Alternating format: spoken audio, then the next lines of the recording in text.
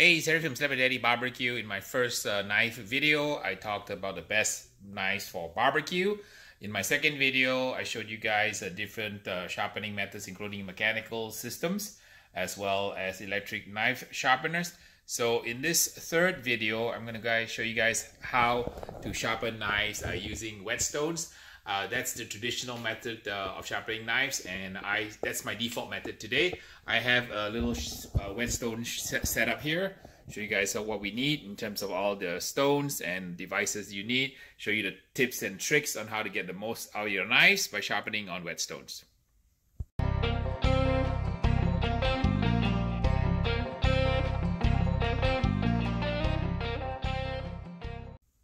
So what exactly is a whetstone knife sharpening? Uh, as a rundown, what you do is you get a whetstone like this. They come in different grits and uh, you kind of put your knife at a proper angle and you basically sharpen your knife by drawing your knife back and forth and uh, both sides of the knife. And uh, I have here my little setup uh, that I have made for myself. Uh, I can basically get this set up on my kitchen sink. Takes me just about maybe a couple of minutes what I did was uh, the first thing I did was uh, I needed a little platform to sharpen on. You can spend 80 hundred dollars on these different platforms, but I am too uh, cost efficient and uh, process efficient, cheap and lazy. So I went to Home Depot and I got myself some scrap wood and uh, made myself a little sharpening station. All it is is just a piece of wood with a couple of uh, kind of brackets here that I put in with stainless steel nails and it fits perfectly on my sink. So when I want to sharpen my knives, all I need to do is take my sharpening uh, station out, just plop it over my sink, put on my little uh, non-skid mat here, put my whetstone like so, and then uh, just turn on the water and wet it, and we're ready to go. So before we get started, uh, I need to talk about kind of the most important uh, component here, which is your whetstone. Uh, there are many kinds of whetstones, and uh, you ask a knife sharpening expert what kind of whetstone they use. It's kind of like barbecue, right? There'll be another three-hour argument. So it, to save you the three-hour argument, uh, I'm not a knife expert, but uh, I've uh, tried different brands, and the three sharpening grit stones that I have is, first of all the company is Naniwa Chosera. It's from Japan. Uh, these are really good sharpening stones, and uh, there are many brands out there. And again, like I said, it's kind of like what brisket is best for barbecue. Uh, if you talk to a knife sharpening expert, they've got many opinions, but I know that this works. this is a Naniwa Chosera. This is a, I think, a 400 or 800.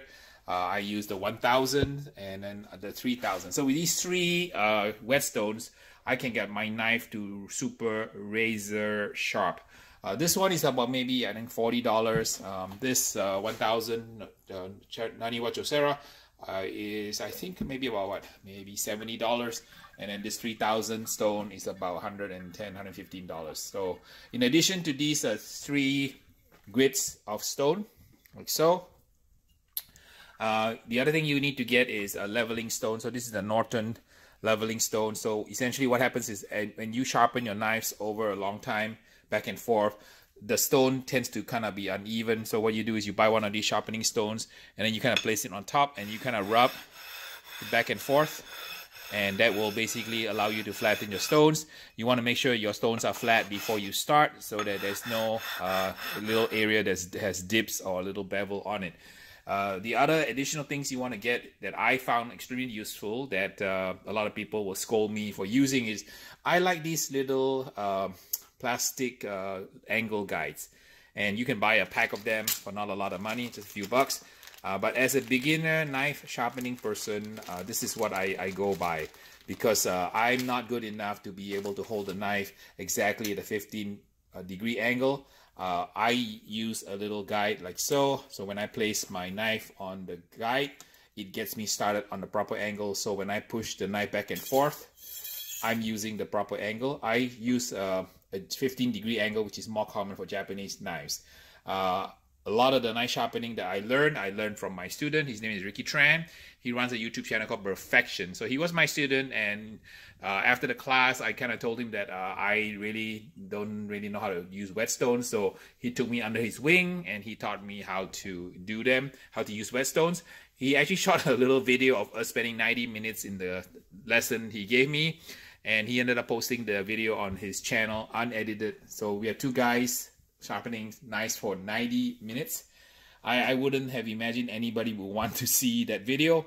But lo and behold, I think that the video now has uh, 20 to 25,000 views. So uh, for those all you knife nuts out there, you can go watch uh, Ricky's uh, video of um, him teaching me how to sharpen knives.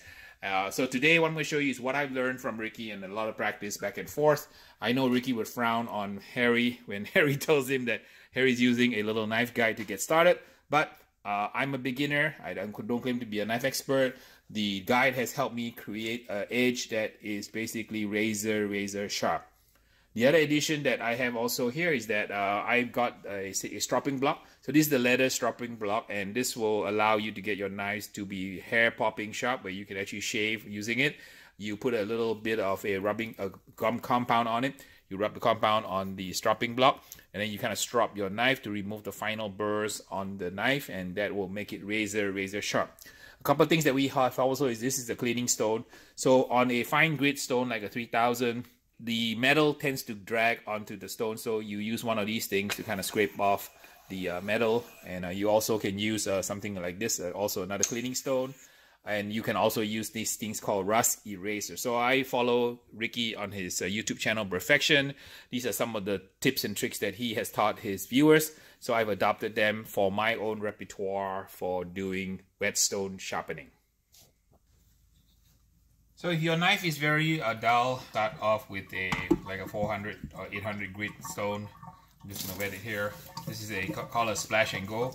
The, the simple method is basically to put your knife at a 90 degree angle to the stone use your uh, guide to get started so that you can get a hang of what 15 degrees feels like. Pack of guides comes in different angles. You can go anywhere from 11 all the way to I think 20 degrees. Uh, 15 degrees is kind of my favorite angle. So basically you move your knife back and forth like so. And this is a pretty rough grit. I always go back here and measure my angle. Just make sure that I'm at a 15 degree angle. I'm a beginner, so uh, it's not easy for me to hold it like a, like a professional. Uh, they can hold it at whatever angle they want all day long, but for me, I'm a newbie, so I tend to go back here and measure and keep going. After a couple of rounds of going back and forth, you will develop something called a burr. So now I can feel the burr. So the burr happens on the outside edge because I'm rubbing it this way. The, the metal kind of curves upwards, so you can run your finger, you can see the burr. You can feel it here, nice even burr. So now you flip it over, start on the other end, and start on the other side. Get a couple of rounds of the burr on each side, and then I will switch the uh, grit to the uh, the 1000. Now I'm going to switch to 1000 here. Same uh, idea.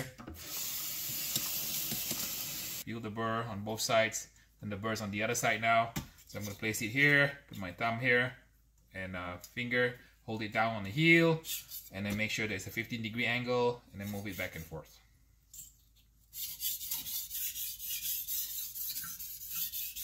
And make sure the angle is good.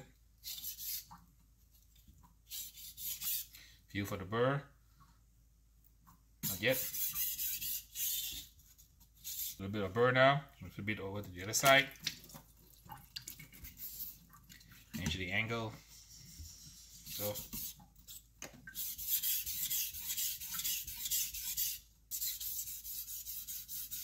done a few passes on the uh, 3000 stone so what I want to try to do is I want to just remove the burr before I move to the 3000 so we're going to finish the 1000 with some gentle strokes here finish the stroke here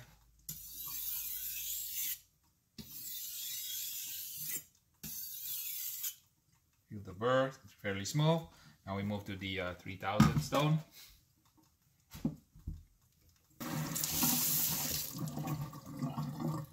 Measure my angles. All right here.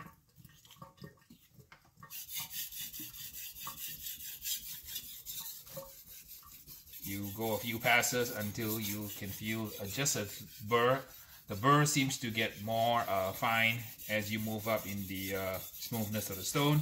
So 3000 is is a fairly smooth stone. Some uh, sharp, sharpening experts uh, go up to uh, 5000, up to 8000, 10,000 stone.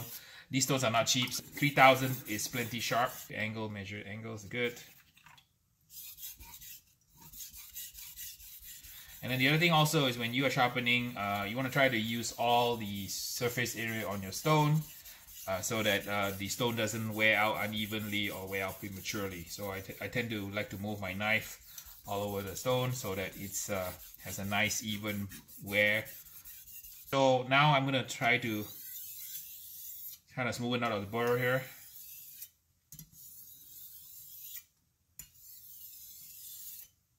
And I'm just dragging gently back and forth to kind of smooth out the burr.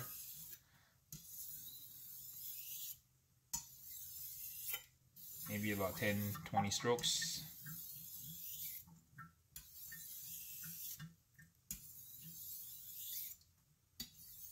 And make sure it's okay. You can dry the knife. And let's do a cut test. Uh, what I'm going to do is I'm going to strop it now and uh, using this uh, compound to get it to be super sharp. So get some buffing compound on it.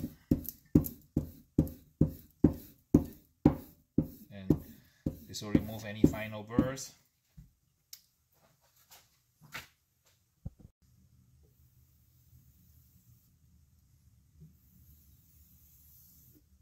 This is the polishing step.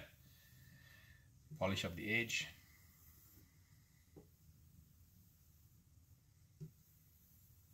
just a gentle gentle pressure is enough just to hone the edge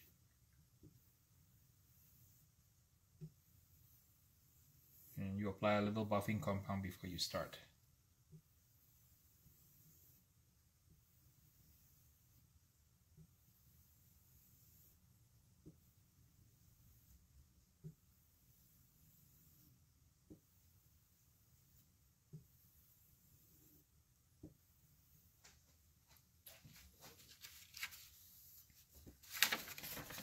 Cut test so it's really like razor sharp it's now uh, not only slide cut sharp but push cut sharp just pushing it through.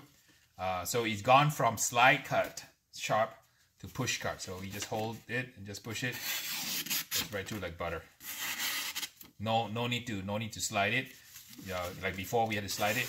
Now it's so sharp that because of the stropping you push it and it goes right through okay?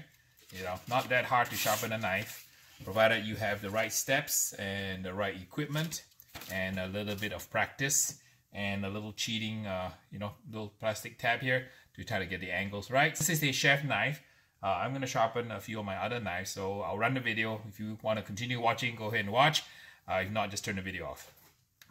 I guess you're still watching. Show you how we do it. The technique is a little bit different because it's a, got a curved blade. This one, I kind of like make an X kind of, cut it next like this, right? So you go like an X, like an X, like so. With the three stones and a stropping block, you can get your your boning knife to be really like hair popping razor sharp. I have a lot of knives to sharpen. Uh, all the knives here. I'm heading to Australia on Saturday, heading to Perth to teach a few classes there. It's going to be a 20 hour flight. So I want to make sure that uh, when I get on the plane, I take some sharp knives with me we're going to be cutting a lot of meat up in Australia, uh, maybe cooking some exotic animals that I only found there. And like and subscribe and share the videos. Thanks for watching.